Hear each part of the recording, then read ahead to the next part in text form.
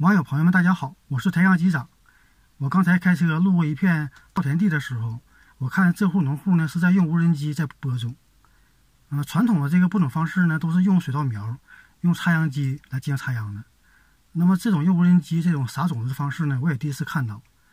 那么呢，我带大家一起去看一下，看看这无人机是怎么这个播种种地的。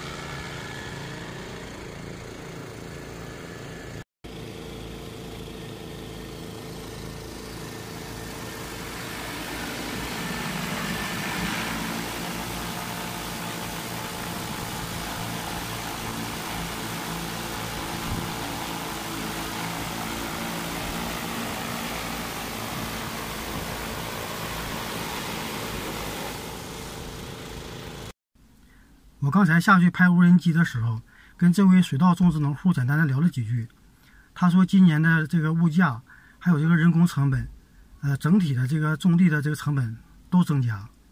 如果要是不节约成本的话，就很难能赚到钱。按照这个传统的这个采样方式，成本特别高。呃，用无人机来播种呢，这个效率还很高。啊，他也是第一年来播，他要试，他要试一下，看看怎么样。我也了解了一下这个无人机。它呢，这个可以喷农药，也可以施肥，还可以播种，这个效率特别高，特别快。这确实是这个科技也改变了这个农民的这个种田方式，这点确实是能给农民也能减少这个种田成本。那么今天的视频呢，和大家就分享到这里，喜欢的朋友呢，给我点赞、转发、关注一下，我们下期再见，拜拜。